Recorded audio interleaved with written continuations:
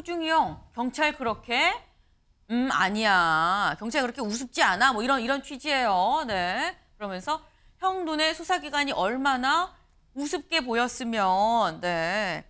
변호사가 옆에서 알려 줬을 거 아니야. 이렇게 저런 식으로 김호중 씨가 보이는 거짓말 행태 보면 수사하는 입장에서도 화가 나게 마련입니다. 경찰 입장에서 계속 말 바꾸고 주- 증거 조작하고 은폐하면 사법부에서도 그걸 굉장히 엄하게 다스리게 돼 있거든요. 그렇기 때문에 경찰은 더 자신감을 가지고 있고 수사를 해서 거기다가 너무 크게 일을 벌여서 김호중 씨가 전 국민의 관심이 집중됐지 않습니까? 경찰 입장에서는 이거 못 밝혀내면 바보 되는 겁니다. 경찰 김호중 거짓말 탐지기 안 해도 증거 충분. 누가 한 얘기냐? 네. 우종수 국수본, 이 국가수사본부장이 직접 어제 한 얘기입니다. 굳이 해야 할 필요가 있습니까? 기자들이 물었어요. 거짓말 탐지기 조사 안 하세요? 그랬더니 굳이 해야 될 필요 있나요? 수사 과정에서 확보한 증거, 관련자 진술 다 하면 위험운전 치상죄를 입증하기에 충분합니다. 거짓말 탐지기까지 안 가도 우리 다 혐의 적용해서 처벌까지 갈 수 있어요라고 얘기를 했습니다. 오, 그럼 뭔가 지금 경찰이 갖고 있는 증거가 처음에 사실 이 부분을 김윤영 대변인님 네. 우리가 아 이거 뭐 위드마크로모에서 역, 역으로 해갖고 알코올 뭐 어느, 정도 되는지를 혈중 알코올 농도 이거 판단하기가 몇 병인지 뭐 이거 명확하게 나오지 않는데 음주운전이 되겠어 그랬는데 그거 아니어도 다 돼요. 약간 이런 느낌이에요. 그러니까 경찰 또 수사당국도 어떻게 보면 사람입니다. 계속 저런 식으로 김호중 씨가 보이는 거짓말 행태 보면 수사하는 입장에서도 화가 나게 마련입니다. 경찰 입장에서 계속 말 바꾸고 주- 증거 조작하고 은폐하면 사법부에서도 그걸 굉장히 엄하게 다스리게 돼 있거든요. 그렇기 때문에 경찰은 더 자신감을 가지고 있고 수사를 해서 그것도 거기다가 너무 크게 일을 벌여서 김호중 씨가 전 국민의 관심이 집중됐지 않습니까? 경찰 입장에서는 이거 못 밝혀내면 바보 되는 겁니다. 그래서 총력을 다해서 밝히기 때문에 저는 자신감을 보이고 있다. 그렇게 보고 있습니다. 경찰 입장에서 그런 식으로 자꾸 은폐하려는 시도들이 있었는데 그걸 좋게 보겠느냐라고 말씀을 하셨죠. 사실 그 익명 게시판이라고 하죠. 인플라인드에 글이 올라왔습니다.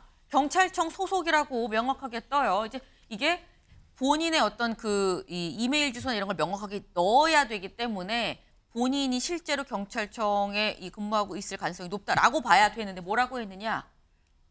호중이 형, 경찰 그렇게 음 아니야. 경찰 그렇게 우습지 않아. 뭐 이런 이런 취지예요. 네. 그러면서 형 눈에 수사기관이 얼마나 우습게 보였으면 네.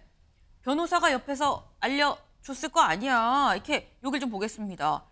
지금 술 먹은데 CCTV로 보고 영상이 없어도 동석한 사람들 불러서 조사하면 열에 9.9는 알아서 다 얘기를 한다.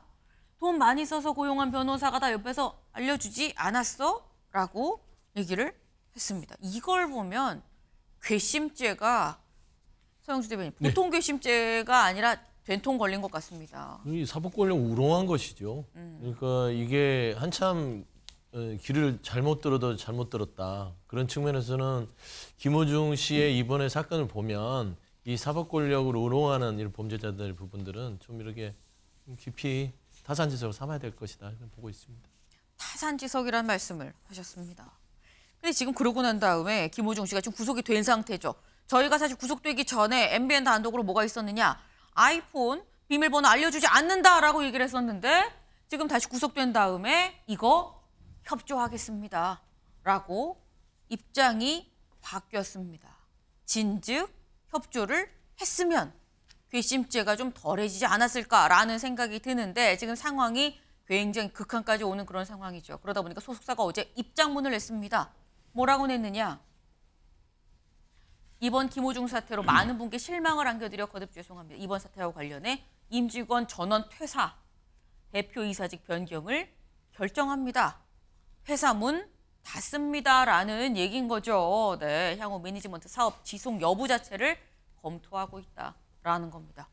덩달아 소속됐었던 연예인들도 다 불똥이 튀게 됐다라는 거예요. 네, 그러니까 호미로 막을 걸 은폐하고 은폐하다 가래로 막다 보니까 이 상황까지 온 게 아닌가라는 생각이 듭니다.